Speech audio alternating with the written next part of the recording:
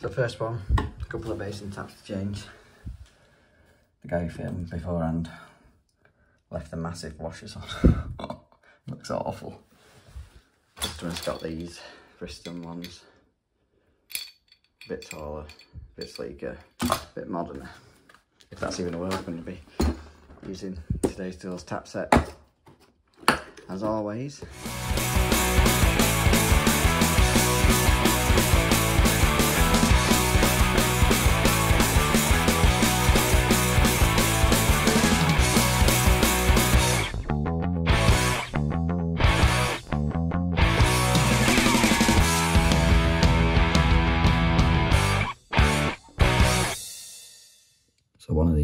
these has got a flexi on. With a Speedfit 15 to 10 reducer, and the other one is 10 mil and a 10 mil and a tap connector up top. That's where it converts. Hmm. Turn the water off.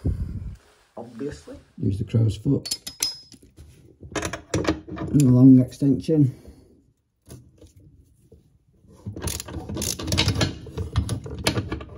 Take that out of the way now. And whip the off beyond. I'll switch to uh, the back nut spanner.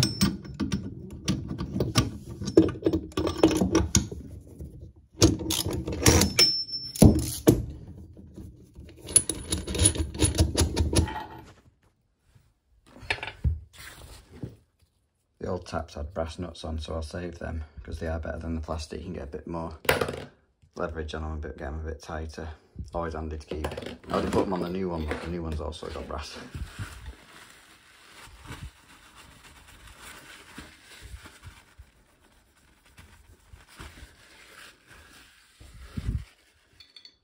There's a washer on these. You can silicone them, but the hole's quite tight in this basin, so it should be fine like that.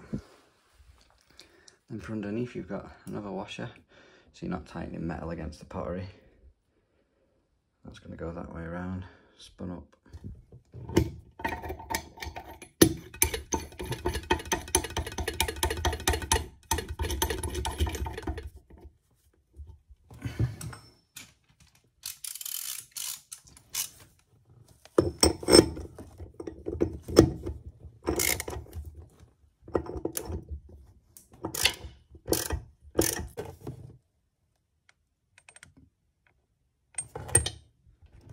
Going to put a new flexi on this because I don't know if you can see on the picture, video even, half the rubber has gone. It's just all broken away. It must have been over tightened when it was put in. So just swap them both.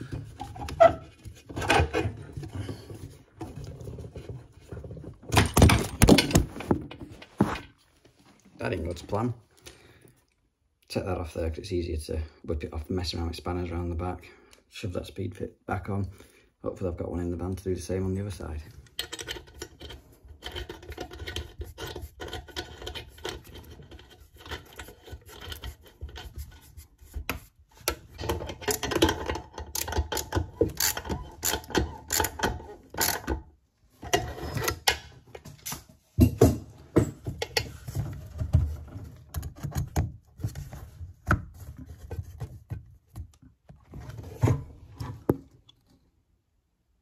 One done.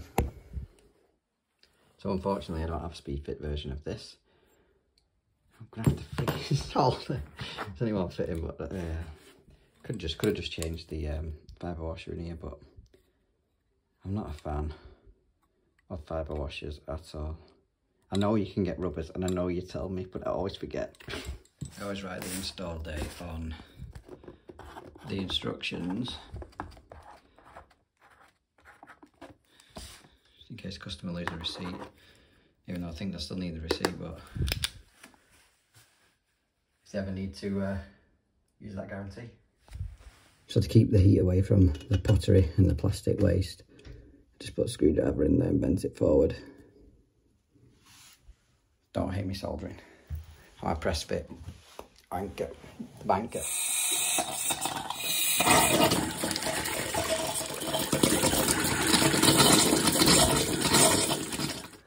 So this is what we just swapped over, this TRV, because Customer said even when this is shut off, it wouldn't, the radiator would still get hot. So let's have a look. It looks pretty close to me, but we'll blow through it. So that's supposed to be fully closed.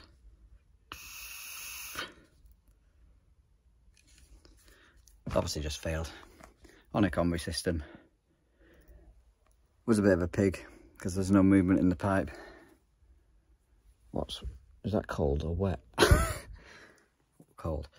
Um, yeah, swapped it over, forgot to record.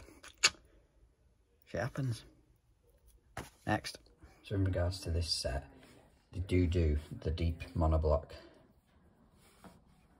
sockets to get onto kitchen set taps, but it is extra. It's roughly about 12 pounds. Before I show you, you've got this uh, Baxi Duotec to service. So it's a platinum, it's a platinum, same difference. Just gonna undo this uh, burner off and the fan. Same as the uh, 600 and 800 range, you got your four nuts here disconnect the rectification, earth and spark. Your fan, you've got your power in and your speed settings. You've got a little gas tube there and undo the gas valve connection. But when you pull this out, make sure you don't lose the injector. Which is currently what it's stuck on there's the injector there.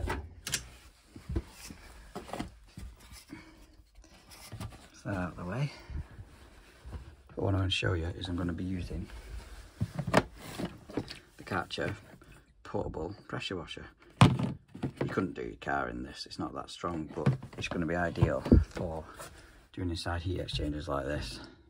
And once we've washed all that out, just clean out the condensate trap because that's where all that shit's going to end up. Got a nice long reach hose on it anyway. But you can't keep it plugged in on charge and use it, it won't let you.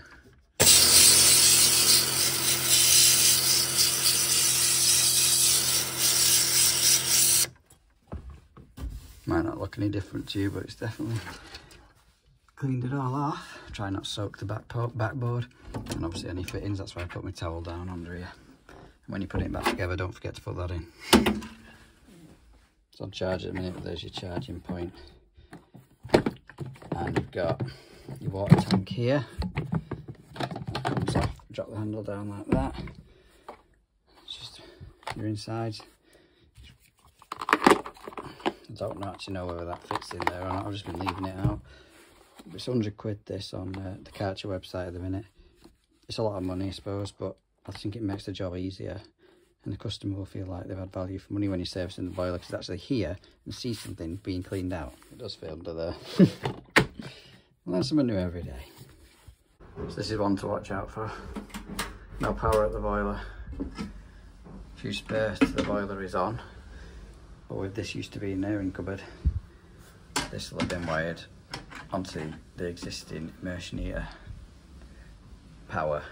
So normally there'll be a switch downstairs not much of a tip, but if you got called out to property, my boiler's not coming on. They might have switched off the switch downstairs, not knowing what it did, new owners, etc. Saves you getting any tools out, messing around testing, when you're going to get nothing, no voltage up here anyway.